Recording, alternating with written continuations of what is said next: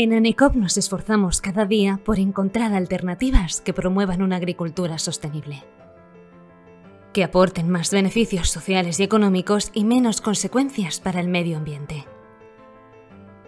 El residuo cero es un sistema de producción que minimiza el uso de químicos en el cultivo, eliminándose por completo en el proceso de conservación y prioriza técnicas de control biológico como las aplicadas a estos naranjos. Aumentar la biodiversidad, atraer insectos beneficiosos para el cultivo, colocar trampas de captura o utilizar feromonas que confunden a las plagas son algunas de las herramientas que los agricultores emplean para que la planta se defienda.